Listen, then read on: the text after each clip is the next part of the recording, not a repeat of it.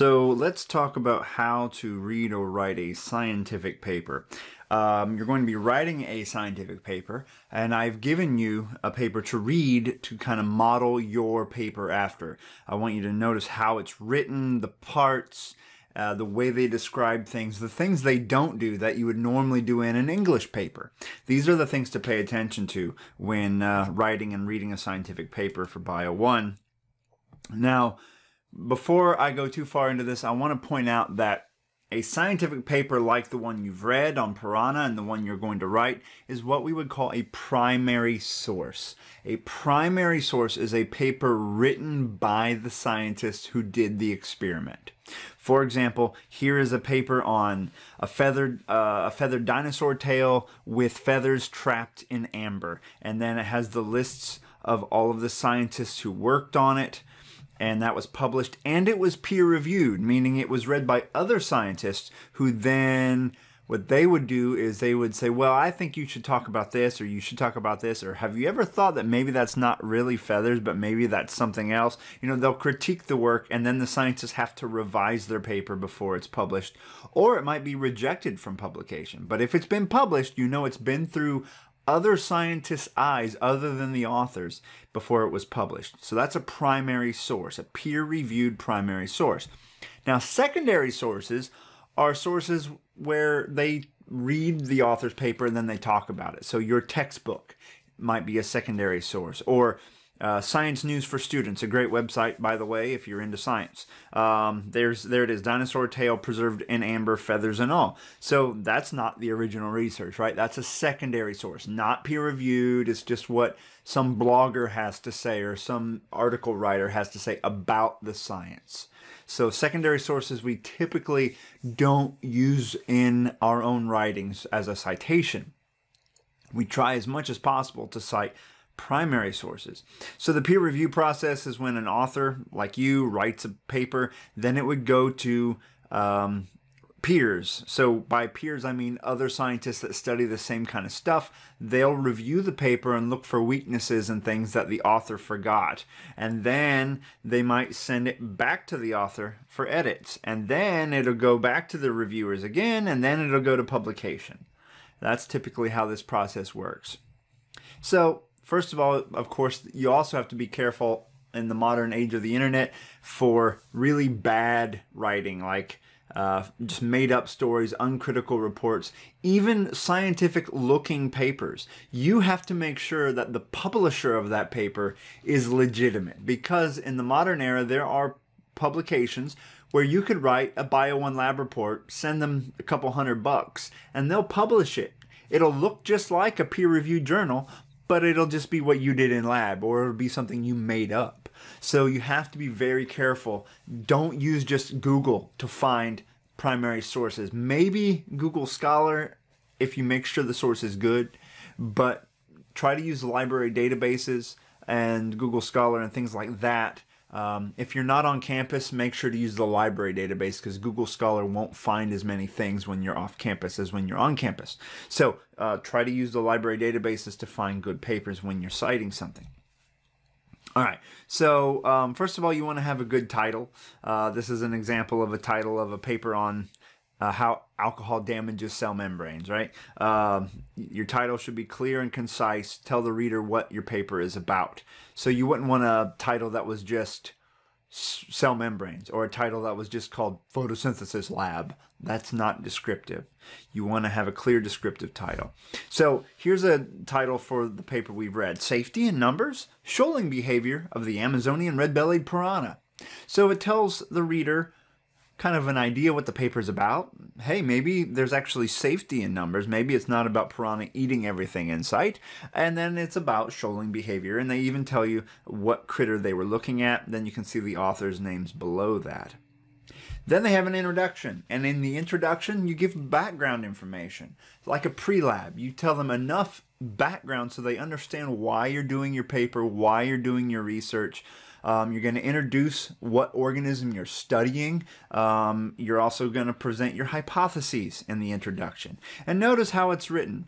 Um, you're not going to see them, uh, first of all, it's typically written Um, you, this paper actually uses the word we, oop, uses the word we occasionally, but most papers will be in the third person. So um, that's typically how we write them in Bio 1 and Bio 2 is in the third person. So rather, we did this, you would say this was done, right? And here we see citations. You can see the author's last names. These are papers they read, and then they cite information from those papers to make a point. So they don't actually quote the authors. You never quote authors when you cite them. You paraphrase, you take information from their paper, put it into your own words to make your own points, and then you cite them. Now, for uh, Bio 1 lab report, typically you're going to be citing. Um, you'll be citing uh, things like the textbook because I'm not going to make you dig out primary sources for this. But in other um, other activities you'll be doing, you may well have to cite primary sources. All right, uh, then there's a materials and methods section. This will be pretty short for Bio 1, but this is uh, how and where the experiment was conducted, how data was analyzed, and it's written in narrative form, not as like a recipe. So you tell them what was done. And you don't have to tell about crazy details like a 25 milliliter flask was used. Uh, I was wearing tennis shoes and I had on glasses. You know, you, you leave out that little stuff, but you give enough general detail that someone could uh, replicate your experiment.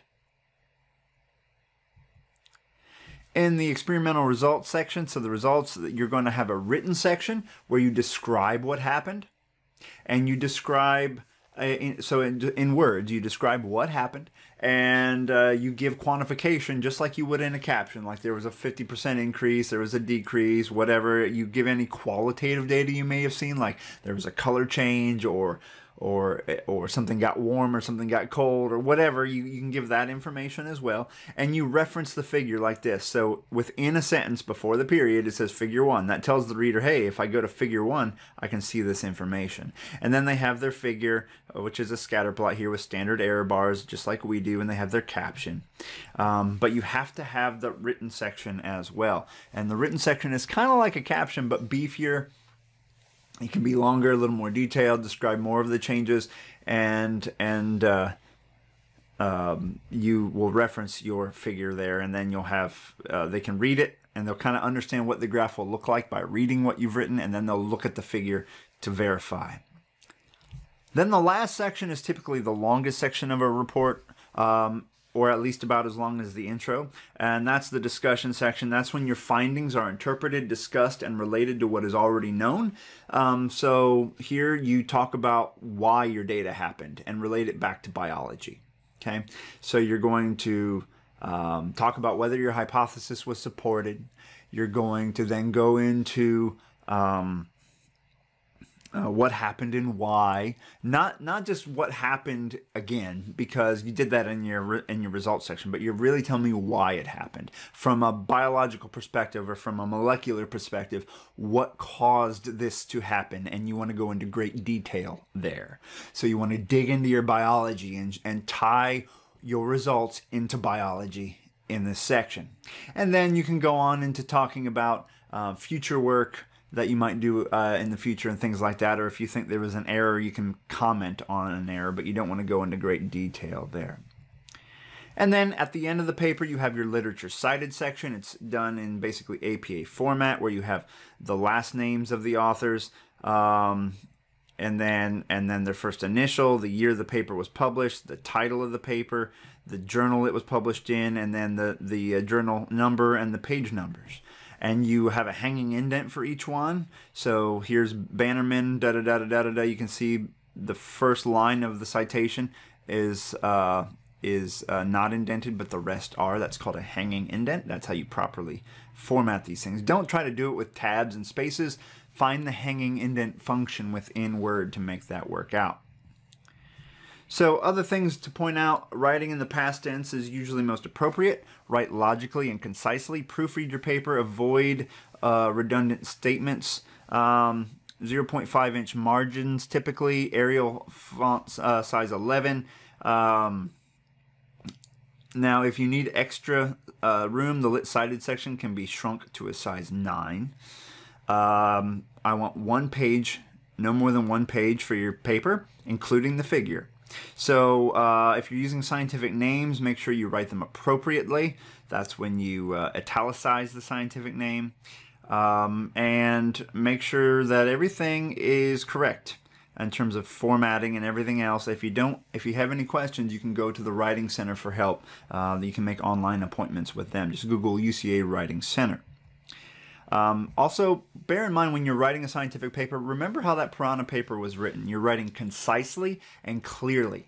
So you want to get rid of unnecessary words. You want to write as clearly as possible. This paper, when you write, it shows how clearly you think. And you want to show me that you're thinking clearly. If it's jumbled and hard to understand, it means you're not thinking clearly, and I can't give you a great grade for that. You need to write clearly, concisely, get rid of unneeded words, get rid of unnecessary strings of words, like rather than saying it is likely that, you could just say likely da da da da da da in the vicinity of can be shortened to near so you really want to craft this paper well while you're writing and and that's something that you you should be able to do uh, as a college student um, and just to give you an example of citations here's an example of a of a paper um, that that uh, I wanted to show you. Uh, so there's a paper on vitamins and how it affected the lifespans of voles, which are kind of like almost like a mouse. Okay, so here's one way that someone might cite it. This would be wrong. Many people take antioxidant pills. However, a recent study stated, quote, our data clearly demonstrate that dietary supplementation, da da da. You can read what that says. We never ever actually do that. We never quote from a source. That's kind of like plagiarism. Unless you're quoting something Darwin said to make a point, you never quote from a scientific paper, you know.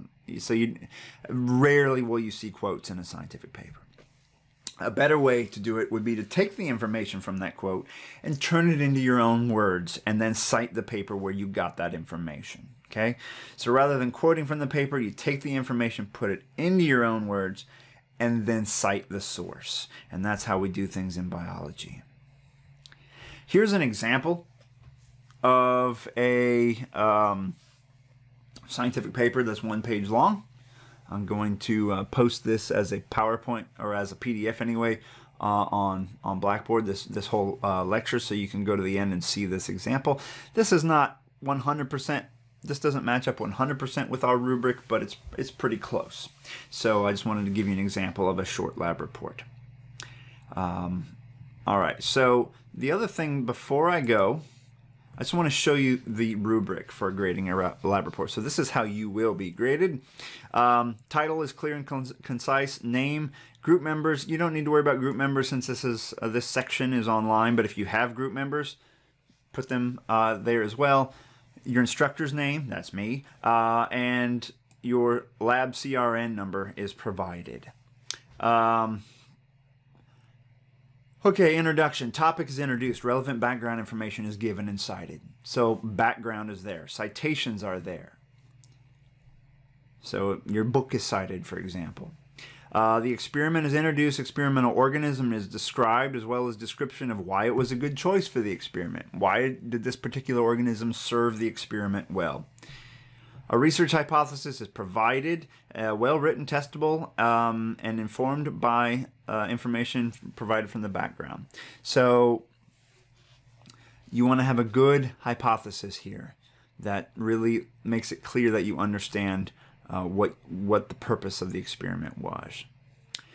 Materials and methods, past tense. Someone could follow the experiment uh, by following the protocol uh, you don't need to worry about citing the manual if we didn't use the manual, but a citation you would cite the manual if you were using the Bio 1 lab manual here. Results, a clear narrative of the data is provided. Uh, figures are referenced, so that's when you have figure 1 in parentheses there in the text. And then you have properly formatted figures. You can see that. Then the discussion section. Connections between hypotheses and data are discussed and interpreted. Known sources of error are discussed. So what you would typically do there is you would start off by saying whether or not your hypothesis was supported, and then you would go on to uh, interpret your data. And don't spend more than one sentence on errors because this pa- papers are not about all the errors you made, they're about interpreting data. The results of the experiment are explained in the context of background information and broad biological principles, so you're explaining the data, not just telling me what happened again and your conclusions are justified by the data.